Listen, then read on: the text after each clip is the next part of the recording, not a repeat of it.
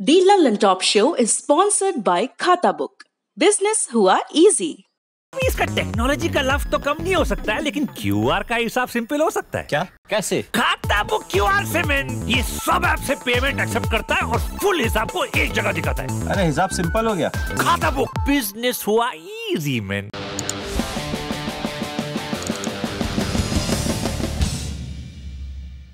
मार्च के महीने में 500 केस से शुरू होकर आज छह महीने बाद भारत में कोरोना संक्रमण के आंकड़े अट्ठावन लाख को पार कर चुके हैं। स्क्रीन पर आपको एक वीडियो नज़र आ रहा होगा ये मुंबई की लोकल ट्रेन का है। भीड़ भड़क का लोकल ट्रेन में बदस्तूर जारी है। लोगों को लग रहा है कोरोना वायरस को ऐसा नज़रअंदाज करेंगे कि वो लेफ़्ट आउट फील करके मर जाएगा। जबकि स्थिति ऐसी नहीं है कॉमिक नहीं है, सब कुछ वैक्सीन पर निर्भर है। और दुनिया भर में वैक्सीन भी क्या अपने तय लक्ष्य के हिसाब से चल रही है? इसी पर शो में विस्तार से बात। पिछले कुछ दिनों से नब्बे हज़ार से ज़्यादा केस प्रतिदिन सामने आ रहे थे। अब ये आंकड़ा पचासी से छियासी हज़ार के बीच है। ये आंकड़ा नीचे कैसे आया? सरकार ने साफ़ नहीं बताया। अभी भी तसल्ली दी जा रही है। सरकार के डेटा के मुताबिक बुधवार 23 सितंबर को लगातार छठवें दिन रिकवरी के मामले संक्रमण के नए मामलों से ज़्यादा रहे। साथ ही एक्टिव मामलों की संख्या भी घटी। 17 सितंबर को जहाँ दस दशमलव एक सात लाख एक्टिव मामले थे, वहीं अब ये नौ लाख के आसपास है।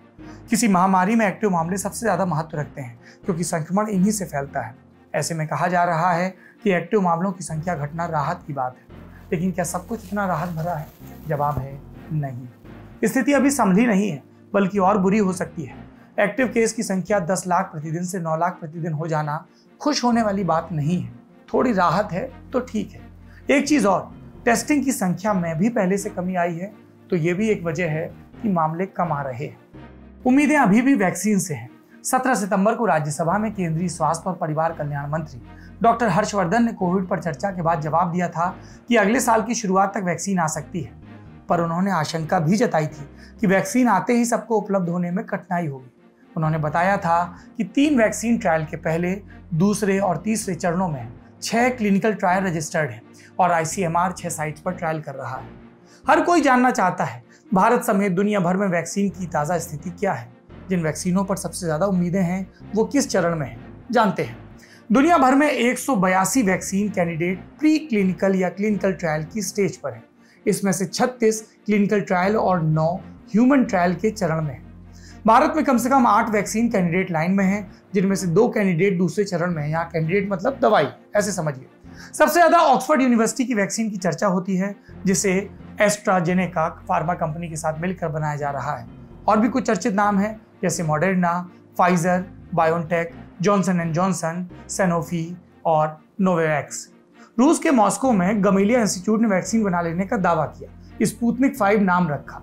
इस वैक्सीन का रजिस्ट्रेशन हुआ। इसके बाद इसका इस्तेमाल वहाँ किया जा रहा है। चीन में भी तीन वैक्सीन के इस्तेमाल को मंजूरी दी गई और भारत में किन वैक्सीन पर दाम लगा है? और वो है किस स्टेज में?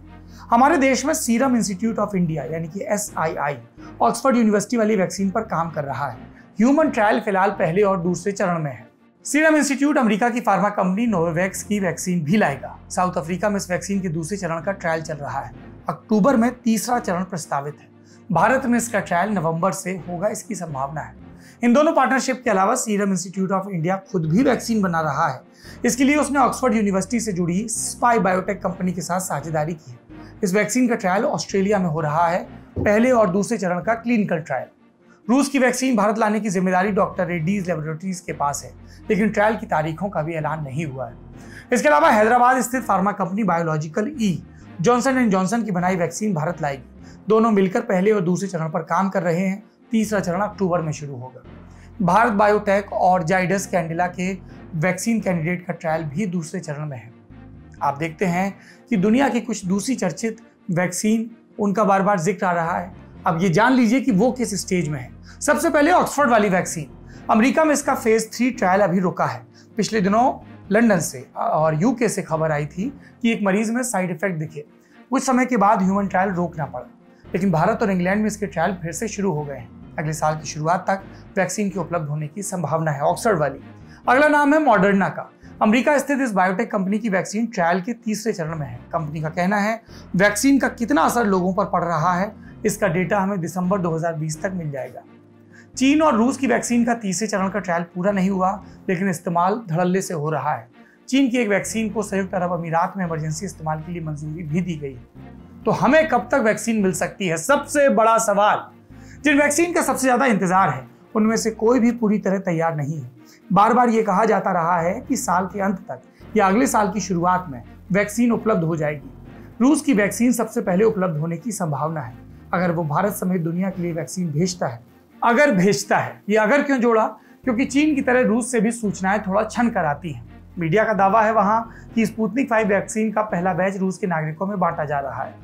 इसके बाद ऑक्सफोर्ड यूनिवर्सिटी की वैक्सीन उपलब्ध हो सकती है, लेकिन बरस का अंत होने में अभी तीन महीने का समय है और ज़्यादातर वैक्सीन की ह्यूमन ट्रायल में बड़े स्तर पर सकारात्मक परिणाम अभी तक नहीं आए हैं।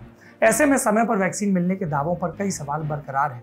फिर से स्वास्थ्य मंत्री हर्षवर्धन के बयान पर लौटे तो वैक्सीन मिलने के बाद उसे जनसुलभ होने में भी वक्त लगेगा।